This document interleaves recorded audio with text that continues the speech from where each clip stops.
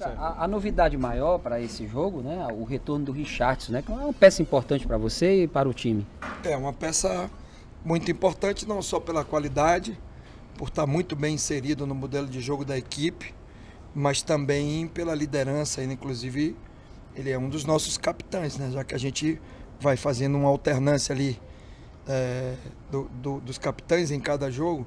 E ele, pela sua personalidade, pela sua liderança, pelo seu bom vestiário, pelo espírito que ele demonstra dentro do campo de jogo, a torcida o preza muito por esse espírito. Então é muito importante a gente, eu estou muito feliz em contar com, com o Richardson para esse jogo, já que é um jogador que tem uma suma importância dentro do nosso elenco. Eu posso te fazer uma pergunta, Chamo? Você gostou do Até que você.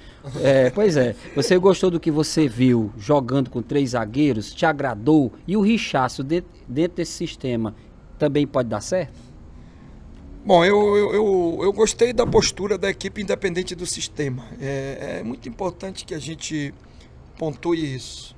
É, o, o, diríamos assim, o sistema deu um equilíbrio maior à equipe na sua fase defensiva, deu um, uma sustentação para que a gente pudesse neutralizar e marcar bem o nosso adversário, já que a análise foi feita que a gente precisava ter uma consistência maior na nossa, na nossa linha defensiva e a gente pôde dar liberdade para que os nossos laterais atacassem um pouco mais. Mas, independente do, do sistema, o que eu gostei foi a postura da equipe o controle que nós tivemos, a dificuldade que nós impusemos ao São Paulo de nos marcar e de nos pressionar. E a gente teve muita bola, inclusive a gente teve, teve mais posse de bola que o adversário, foram 53%, então a gente ficou mais com a bola do que o São Paulo, que isso normalmente não acontece, principalmente com equipes com essa envergadura e com o grau de investimento que tem o São Paulo.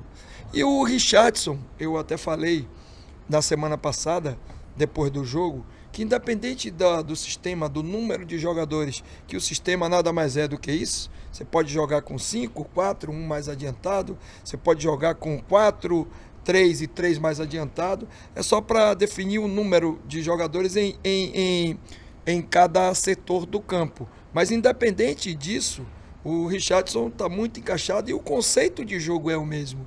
A gente continua marcando de forma zonal, as, as marcações individuais são dentro do setor, a gente tem um, um entendimento de que é, a nossa construção ofensiva passa por uma mecânica de, de jogo e ele, independente de ser cinco ou três zagueiros, a mecânica ela é muito, muito próxima. Então não, não existe qualquer tipo de preocupação. Todos os jogadores que nós temos hoje, mesmo os que saíram, Richardson, o Ricardinho, o Rafael Pereira, podem ser inseridos independente do sistema de jogo que a gente utilize. Se, é, quando terminou o último jogo, você dizia pra gente que estava muito satisfeito defensivamente com a equipe, mas que ofensivamente tinha algumas soluções na semana, né? Essas soluções, pelo que você viu no treino, foram conseguidas? Você conseguiu essas soluções? Sim, uma, houve uma evolução e a gente estudou muito o nosso jogo com o São Paulo, justamente para buscar essas respostas, né? A, a, essa dificuldade, principalmente no primeiro tempo, onde a gente enfrentou um adversário é, postado, com às vezes até os 10 jogadores atrás da linha da bola.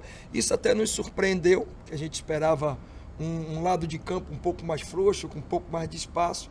Eles desciam com Cueva por um lado, Everton descia até o final pelo outro. Entraram com três volantes, fecharam o centro. A gente teve dificuldade também de achar o entre linhas. No segundo tempo, não. O jogo já foi mais aberto. Eles fizeram duas substituições, tiraram um volante, enfiaram um Nenê ali para ficar fazendo entre linhas em chute de fora da área. Abriram mais na questão defensiva. Aí a gente podia aproveitar melhor os espaços. Então, é, a gente, com toda essa análise e, e, também em cima do que a gente produziu, essa semana a gente trabalhou um pouco mais a parte ofensiva, até porque a gente precisa marcar, porque são os gols que definem o resultado final do jogo. Então a gente precisa ser mais contundente nesse aspecto. E a música, é, Richardson está disponível para 90 minutos? Sim, já está. Tá, fez, a, fez o período todo de transição, parte física, tudo que foi necessário. Eu, eu na verdade, para eu colocar um atleta queimando alguma etapa de preparação no seu retorno, só se houver uma realmente extrema necessidade para que isso aconteça. E a gente fez toda a transição que ele precisava fazer. A partir de, é, do final de semana anterior, ele já começou a ter contato com bola. A partir de segunda ele já participou de todos os treinos, treino tático, todos os treinos. E o atleta está na, na, melhor, na melhor condição, não diria, porque ele está voltando de uma lesão. Mas ele está preparado para jogar. O Romário vir para a coletiva significa que ele vai jogar? Aí a gente vai definir ainda. Tem Romário, tem Carioca e tem Hernandes. São três opções. A gente tem escolhido os atletas muito em função da análise que a gente faz do adversário e da característica do jogo. Então o Romário pode vir sim, como a gente pode manter Carioca ou até utilizar o, o, o Hernandes. Hoje, hoje o Hernandes está trabalhando um pouquinho mais por dentro, né? E a gente tem as opções maiores pelo lado, que é o Carioca e o Romário. Qualquer um dos dois que for escalado vai estar pronto para jogar. Na lateral direita também paira uma dúvida na tua cabeça ou não, Chamusca? É, tem, a gente tem duas boas opções. O Pio foi deslocado para dentro, até pela necessidade e pela uma leitura tática de jogo também, que a gente viu um espaço interessante para utilizar de chutes de fora da área no jogo contra o São Paulo. Não esperava que eles viessem com aquele tripé de volantes, achei que eles vinham com, com um quarteto ofensivo com dois volantes. Daí a escalação do Pio ali por dentro. Mas a gente tem a opção também de usar o Pio pelo lado.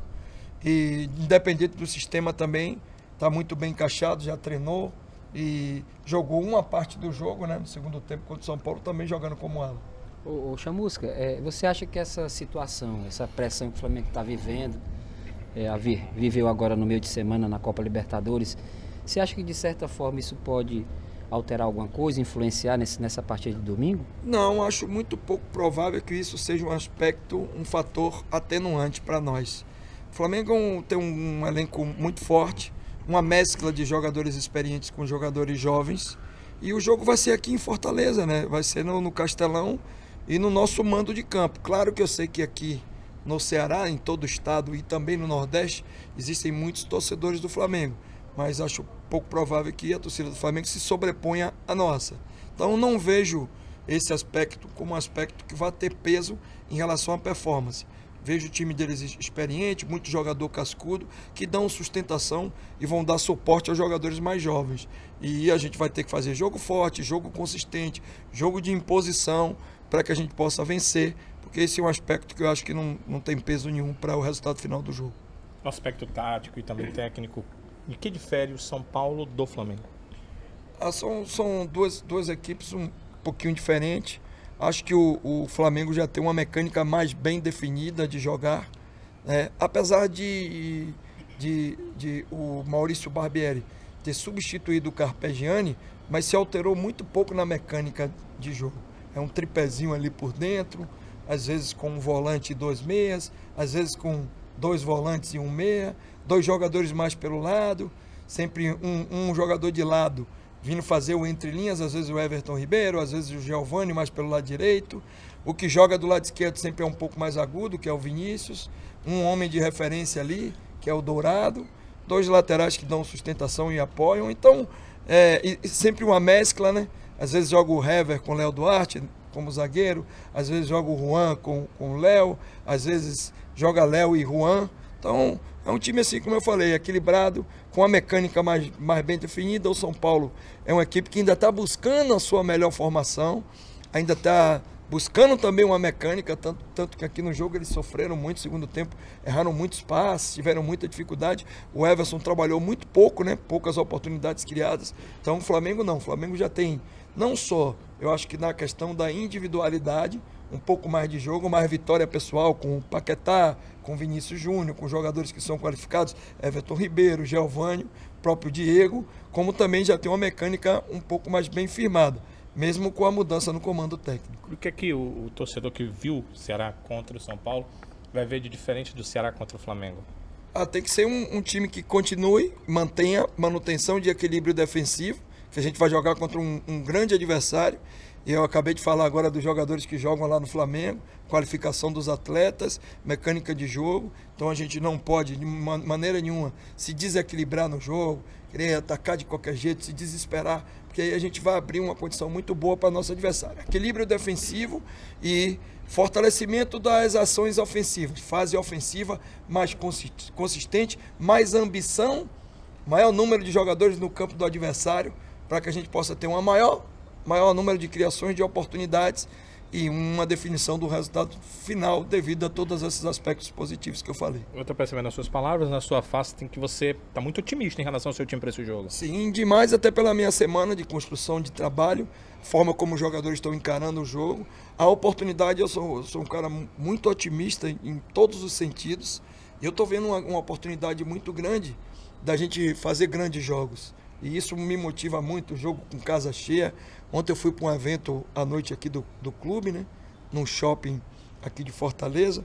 Uma grande presença de público, não só comprando ingressos, mas também se associando, que é muito importante isso para o clube. Então, o, os torcedores passaram uma energia muito positiva, de confiança no trabalho que está sendo feito, no grupo de jogadores, e a gente vai levar isso tudo para dentro do campo. Essa confiança, você como o professor, como é que você passa para os seus jogadores essa confiança que vem de fora? Porque o grupo é blindado, né, Chamus? Que eles não costumam estar tá perto muito do torcedor. Mas você absorve isso aí. Como é que você passa isso para eles, Chamus? Não, basicamente, a gente procura passar no dia a dia.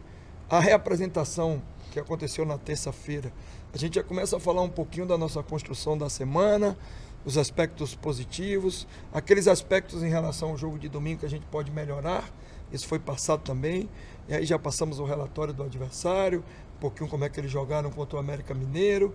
voltamos a falar durante a semana da importância do jogo. Da mesma forma que quando eu, eu vou a um evento ou eu vou a algum lugar público, eu tenho um termômetro do torcedor, o atleta também tem. E eu vi que o termômetro essa semana ele está muito positivo. Não só pela grandeza do jogo, ver o Flamengo voltar aqui em Fortaleza para jogar, né? Contra o Ceará, que é o clube que representa hoje o Estado, a cidade e o Estado na Série A do Campeonato Brasileiro, mas a motivação do torcedor, pelo que nós apresentamos também no jogo de São Paulo, que foi um jogo equilibrado, consistente, onde a gente mostrou um controle de jogo interessante, que apesar de não ter conquistado o resultado, um ponto foi fundamental, porque nós conseguimos sair da zona de rebaixamento. Hoje a gente está numa posição que está fora, ou seja, o nosso objetivo que é ficar fora dessa zona e, e brigar em uma situação melhor. A priori, mesmo com o empate, nós conseguimos conquistar e temos todas as, as possibilidades, pela demonstração do jogo do São Paulo, de conseguir um resultado positivo, melhorando alguns aspectos. Então é em cima disso que a gente procurou trabalhar durante a semana. Está na hora de vencer? Chegou a hora de ganhar a primeira na Série A? Sim, eu acho que esse é o, é o momento, é uma grande oportunidade. Eu vejo também como uma oportunidade de crescimento né, para nós. A gente joga contra um grande adversário. Tem um lado da, da dificuldade de enfrentar esse tipo de, de adversário, mas tem um lado da oportunidade, que em grandes jogos a motivação cresce, cresce performance e tenho certeza que a gente tem tudo para conseguir a nossa primeira vitória.